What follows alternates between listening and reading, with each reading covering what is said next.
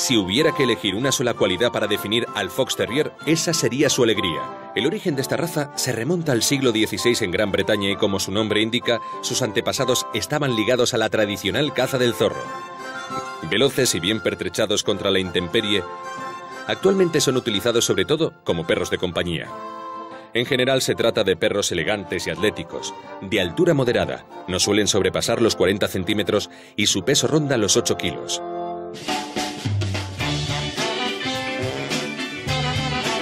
Tienen una complexión atlética, con fuertes y musculosas extremidades.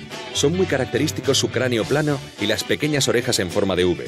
Su dentadura es poderosa y cuentan además con un buen oído y vista excelente. Existen dos variedades cuya única diferencia es el pelaje. El Fox Terrier de pelo liso y el de pelo duro. Los colores más comunes son el blanco con manchas negras, el leonado o el leonado negro. Si hablamos de su carácter, podemos describirle como un perro alegre, muy activo, inteligente y sumamente vigoroso. El Fox Terrier necesita mucha actividad y mantenerse en constante ocupación.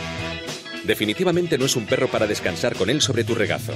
Dado su tamaño, los Fox Terrier se adaptan perfectamente a la vida en un piso, aunque es obligatorio proporcionarle ejercicio de forma habitual. La vida con uno de estos perros es una fiesta continua, y la familia lo apreciará desde muy pronto. Vivaces y siempre dispuestos al juego, ocupará con su alegría un lugar insustituible en la casa.